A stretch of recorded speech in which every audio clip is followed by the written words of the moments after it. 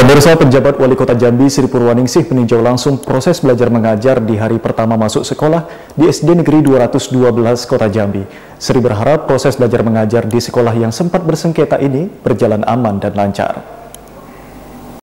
Di hari pertama sekolah tahun ajaran baru, penjabat Wali Kota Jambi Sri Purwaningsih meninjau pelaksanaan belajar mengajar di SD Negeri 212 Kota Jambi.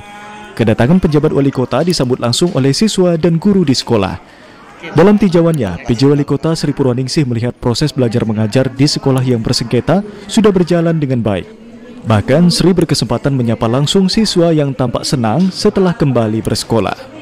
Yang lain yang terkait, ya maka penyelesaian SD 212 ini bisa kita lakukan. Dan proses panjang yang kita alami untuk bagaimana 212 ini kembali normal, pulih kembali, itu diakhiri dengan adanya pengadilan negeri. Ya, Ketua Pengadilan Negeri menyelesaikan masalah ini dan kemudian secara administrasi semua hak dan kewajiban yang harus dilakukan oleh pemerintah Kota Jambi dipenuhi di bawah komando dari Ketua Pengadilan Negeri Jambi. Nah tentu hasil kerja keras bersama baik Wakopimda, Ketua Pengadilan Negeri dan seluruh pemerintah Kota Jambi ini mudah-mudahan berdampak positif bagi anak-anak kita yang belajar di 212. Untuk PPDB tahun ini, SD Negeri 212 Kota Jambi hanya menerima 18 siswa baru.